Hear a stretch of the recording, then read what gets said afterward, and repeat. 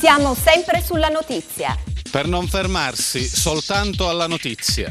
Siamo tra la gente. Notizie aggiornate e verificate per offrirvi sempre di più. Dentro la notizia, nuovi contenuti, nuove sinergie. La velocità, l'immediatezza di uno staff sempre pronto. 120 secondi di aggiornamento news sia in video che in radio ogni ora, dal lunedì al sabato. Un gruppo al servizio delle notizie.